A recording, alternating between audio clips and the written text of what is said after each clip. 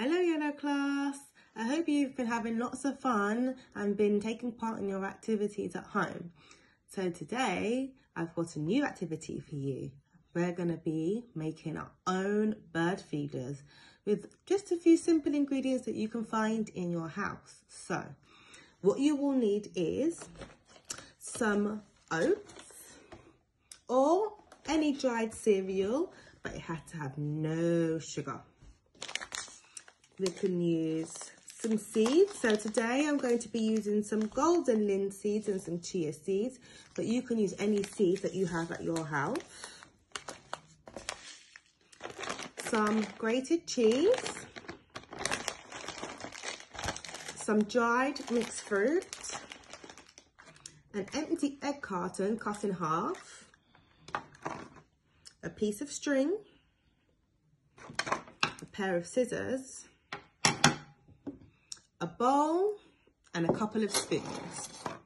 So what we're going to do first is we're going to grab our scissors.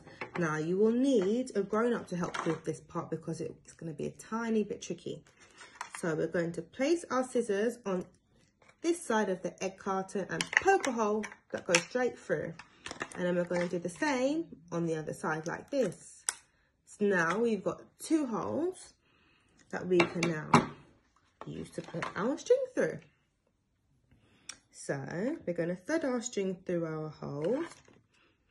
And I'm sure lots of you are familiar with this because we've been doing lots of threaded activities before we went home for Christmas, if any of you remember. This part's a little bit fiddly, so don't be afraid to ask your grown-ups around you for help.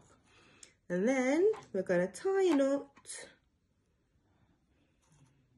you might have to tie it a few times so it doesn't slide back through the hole. That's what I'm going to do. So my bird feeder is nice and secure. I've tied one, two, three knots. Let's see if it's secure enough. There we go. I think that will do. And now I'm going to do the same thing through the other hole.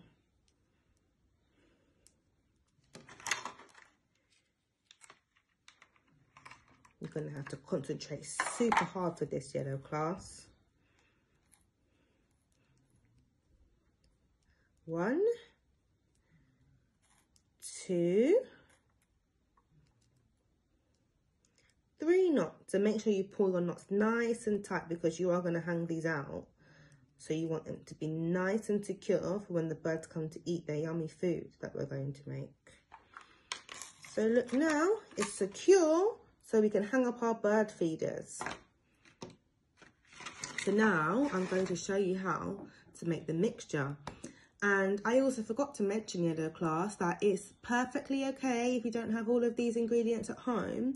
As long as you have some, it will be fine because the birds will eat any of these things. But it's nice to have a mixture.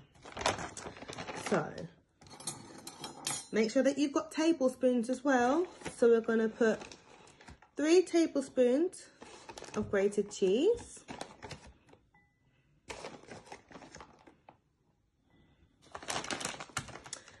And then,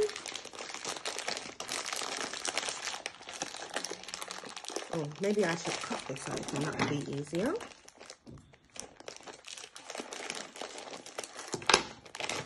We're going to put three tablespoons of dried mixed fruit.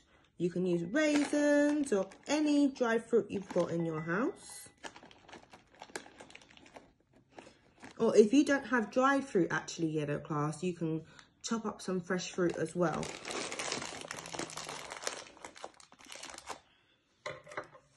And then I'm going to grab my seeds.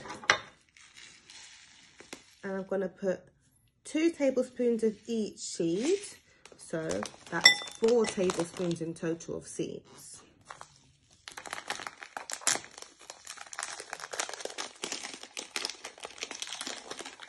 I know my seeds are going everywhere. And then lastly, we're going to put three tablespoons of our oats in.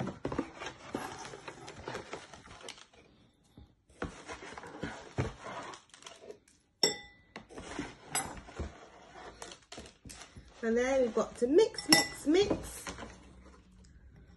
Mix, mix, mix. Just like this. And look at my bird food. I think the birds are really going to love this. It's got all their favourite foods in there. And it's very nutritious for the birds as well. Just like we need food for nutrition to make us big and strong. This is going to make the birds big and strong. And all we've got to do now is just pour some of our bird food into the individual holes. And that's it, yellow class. It's a simple, quick and easy way to make yummy, nutritious bird foods. There we have it. And you can hang these up, hang I put on some twigs